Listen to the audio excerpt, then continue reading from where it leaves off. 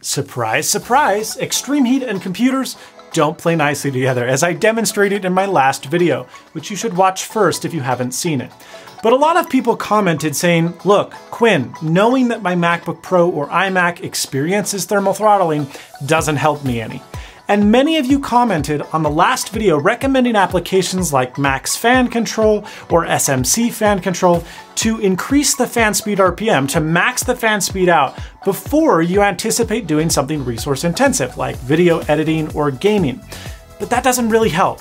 Sure, it engages the fans early, and it will delay thermal throttling by a few seconds, but you can't put out a forest fire with an extra bucket of sand. The simple fact is that the cooling system inside the Mac cannot adequately cool the CPU when it's under full load, regardless of your fan speed.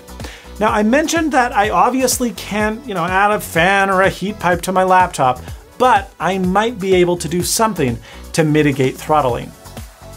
Cooling a CPU is actually a pretty simple concept, and Gamers Nexus has an excellent video that you should watch if you're interested. But the basic idea is that the CPU cooler has a copper block and copper heat pipes that draw heat away from the CPU.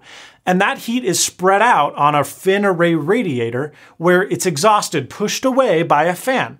Now, in order to eliminate all of the air bubbles in between that tiny gap that exists between the CPU and the cooler, thermal paste is used to effectively transfer heat between the two, and it's mighty important. And theoretically, if Apple didn't apply enough thermal paste from the factory, or if they use a low quality paste, it may be hampering the effectiveness of the MacBook Pro's cooler. So I decided to take apart my 2017 base model 13 inch MacBook Pro so that I could reapply it with quality thermal paste.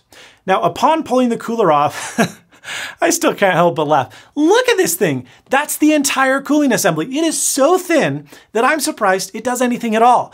And I actually grew a little skeptical that my thermal paste would make any difference. However, the thermal paste that Apple applied did look poorly done. It already felt a little dried out and slightly crumbly, which is unusual for a computer that's so new. It's only a few months old. So I removed the old thermal paste with rubbing alcohol and a microfiber cloth so that I can make room for the new stuff.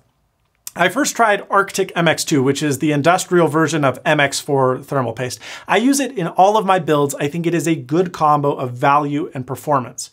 Now I'll admit, because I know I'm going to get comments on this, I certainly applied more thermal paste than necessary. But as demonstrated by Linus Tech Tips, too much thermal paste is better than not enough, and you really have to apply a ton before you'll experience negative side effects. So I put the computer back together, booted it successfully, and I ran my Final Cut Pro benchmark four times to get an average. And hot dog! Or should I say, cool dog? I'm so sorry. the computer exported the video about 7% faster. That's quite a bit. So I started to get excited and I pulled the machine apart again so that I could use Grizzly Kryonaut, which is super expensive thermal paste designed for overclocking.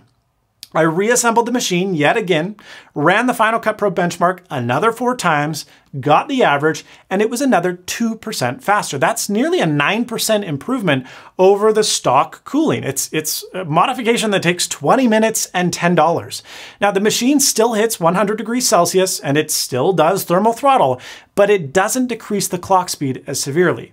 Taking apart your MacBook Pro is not for the faint of heart. There are several very delicate ribbon connectors that you can damage pretty easily. There are an obscene amount of differently sized screws that you need to keep track of, and there is an annoyingly tight CPU retention bracket. Yes, there is better performance, and yes, it is measurable, but is a mere 9% improvement in very weird tasks like video editing worth the time and risk of doing the modification yourself? Probably not. I'm Quinn of Snazzy Labs. If you like this video, you know what to do. Get subscribed for more awesome tech videos like these. If you didn't like the video, whatever, click thumbs down, I don't care. And as always, stay snazzy. See you later, folks.